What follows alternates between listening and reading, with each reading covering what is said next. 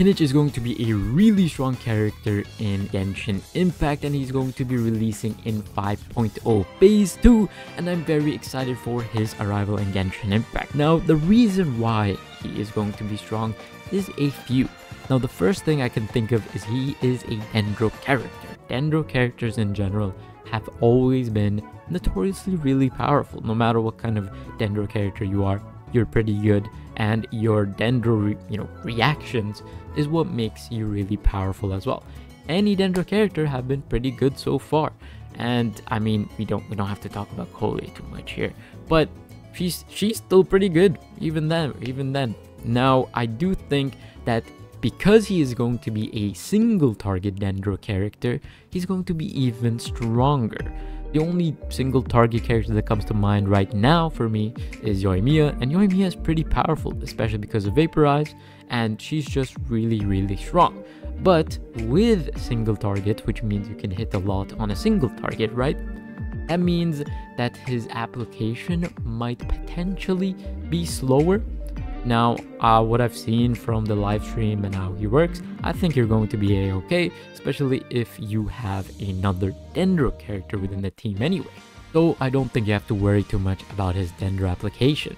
Now, since he is going to be a single target and he's going to be Dendro, I do think he's going to be strong because he's going to, you know, have Aggravate, he's going to have Bloom, Hyper Bloom, Burgeon, Burning, and we're going to be talking about the last two much more in a bit. But i do think because he has all of these reactions all of these fantastic reactions he's going to be unconditionally good okay? He's going to be good.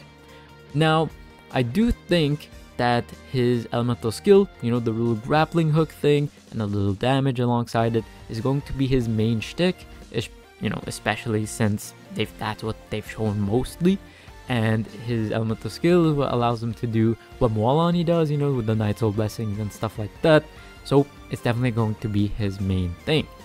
Now, in the live stream, they also mentioned a cannon damage at the end of his elemental skill, and that is where I think most of his damage is going to reside. So I think if we are going to be building him, this is where most of his damage is going to be. So you're going to have to do a lot of uh, damage from this. And of course his normal attacks is going to be really important because the normal attacks and the elemental skill sort of go, you know, together. Now for his burst, his burst is going to be Ajaw and Ajaw becomes a mighty dragon and then the dragon deals dragon breath. Um, this is really good too. It does Dendro, it does damage, it, it's it's like a Ganyu burst or something like that, or Ayato burst just deal damage over time, which is going to be pretty nice. Now, I know for a fact that both these, the Elemental Skill as well as the Elemental Burst, are going to have the Night Soul mechanic integrated within them. And because of that, that is why I think Kinich is going to be very, very strong. Since Night Soul is a massive part of Mualani's kit as well, it's going to be a Natlan thing with the Night blessings and stuff like that. Now that is why I think he's going to be really strong too, because the more Night Soul he's probably going to need or have, the more damage he's going to do. And vice versa, obviously. Now, the thing with Mualani is that her Night Soul points is, you know, all of her, elemental skill and stuff like that, but also her burst increases damage because of it. Now, I think we're going to have the same thing with Kinich, but instead of, hey, the Night Soul Blessing is just going to do more damage, I feel like for his burst, the opposite is going to be true. So because the burst is there, the Night Soul is going to be accumulated because of it. That's what I think. But of course, this is just speculation. I don't know for sure. But from what I've seen within the live stream, what they talked about, this is what I think.